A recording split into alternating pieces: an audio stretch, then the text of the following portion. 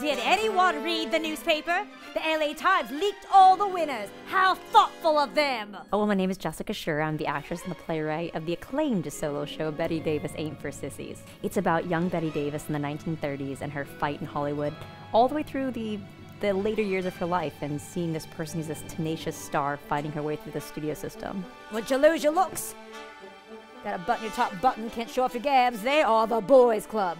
And we women of a certain age are not allowed in.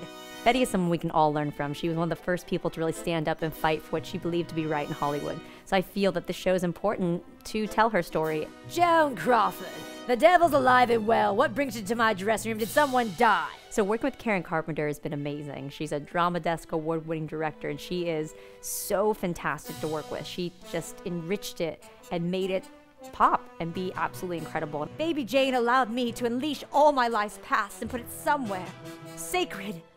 The big screen. This show is for everyone. If you're a Bette Davis fan, you must come because you'll see what you love about Bette. And if you don't know anything about Bette Davis, you'll learn about this wonderful woman in her fight in Hollywood.